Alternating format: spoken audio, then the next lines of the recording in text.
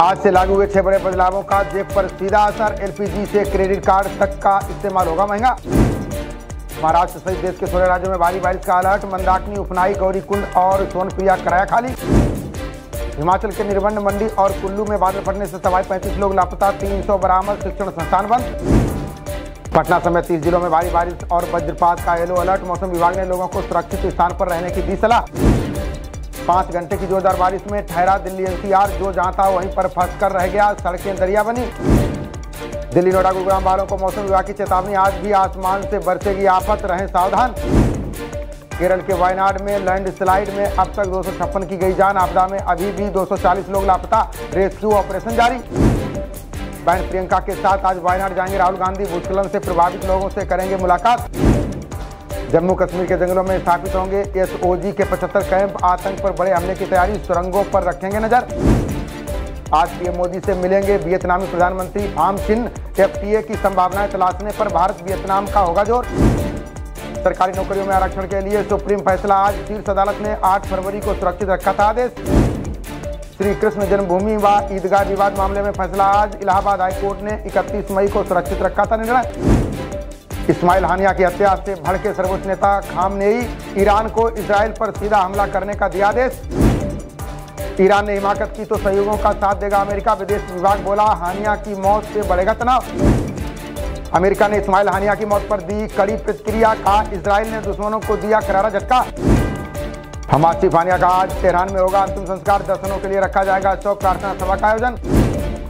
लोकसभा में भारतीय वायुमान विधेयक 2024 पेश नब्बे वर्ष पुराने विमान अधिनियम की लेगा जगह। संसद की सुरक्षा चूक मामले में पटियाला हाउस कोर्ट में सुनवाई। दिल्ली पुलिस ने दायर की हज़ार पन्नों की सप्लीमेंट्री चार्जशीट। उद्धव ठाकरे ने पीएम मोदी को दी चुनाव प्रचार की चुनौती। अनिल देशमुख के आरोपों पर फडणवीस को भी घेरा। लद्दाख में तापमान और ग्लेशियर पिघलने से बाढ़ का खतरा, मौसम विभाग ने पर्यटकों को दी सावधान रहने की सलाह। यूपी के अलीगढ़ में कंटेनर और इको गाड़ी में जोरदार टक्कर, पाँच लोगों की गई जान, पाँच घायलों को अस्पताल में कराया गया भर्ती।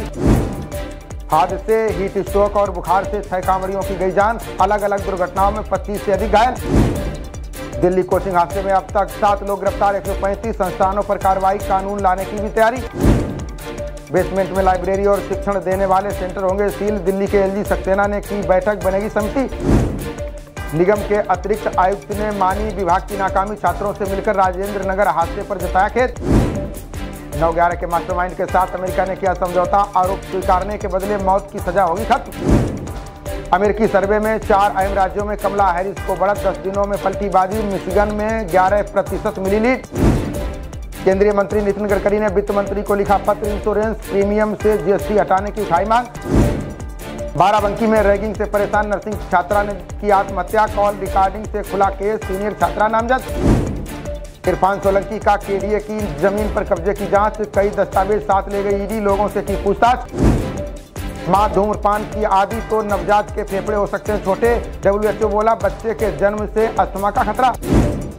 उत्तर प्रदेश की ओर खिसकी मौसमी टफ लाइन मानसूनी हवाओं की दिशा बदलने से हुई भारी बारिश।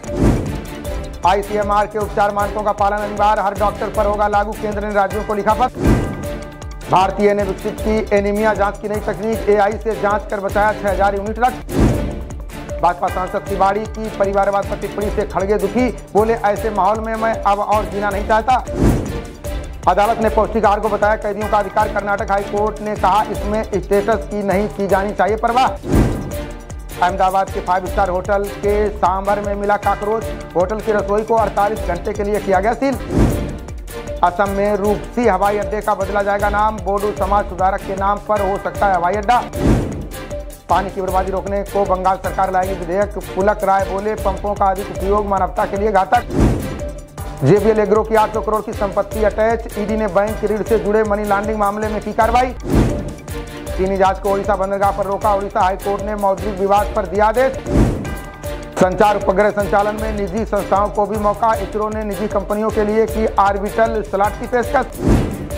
पीएम मोदी से मिले कर्नाटक के डिप्टी सीएम शिव कुमार राज्य सिंचाई परियोजनाओं एवं बेंगलुरु के विकास को मांगा धन। यातायात पुलिस उपायुक्त ने सेक्टर बासठ अंडरपास का किया निरीक्षण। बारिश को लेकर कर्मचारियों को दिए आवश्यक दिशा निर्देश।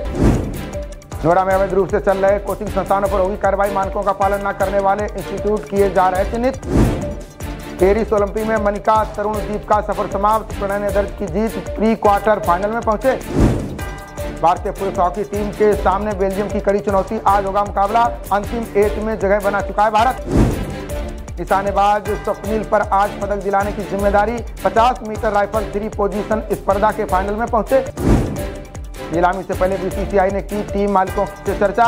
आईपीएल में इंपैक्ट प्लेयर नियम जैसे मुद्दों पर हुई बात।